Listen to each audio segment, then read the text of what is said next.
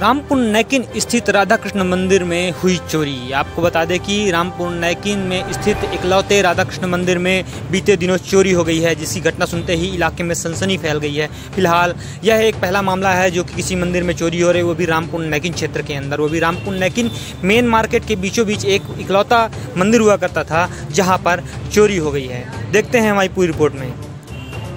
ये कोई आम मंदिर नहीं था। यहाँ पर जगन्नाथ जी की एक अल्तुबम जी आपका क्या नाम है? आप क्या समस्या बताइए। मैं रा, मेरा नाम राकेश कुमार पटेल है मैं ग्राम घाट का निवासी हूँ। मैंने भैंस चराने के लिए जंगल ले गया था। जंगल की ओर तो उसने वहाँ जंगली सियार ने आकर के मेरे मवेशी को काट लिया। वहाँ से मैंने तत्काल लेकर के जो है तो उसको घर लेकर के आया और वहाँ पर ट्रीटमेंट का वो किया।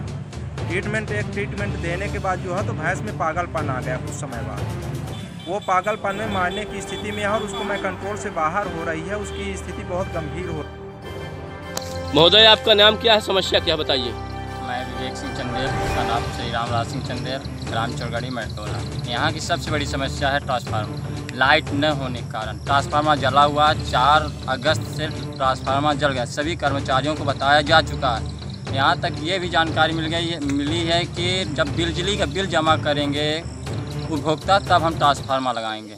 अरे ठीक है, उपभोक्ता जब जमा करेंगे, तब जमा करेंगे। आप ट्रांसफार्मर लगाइए, उनके ऊपर कार्रवाई करिए। जिनका भी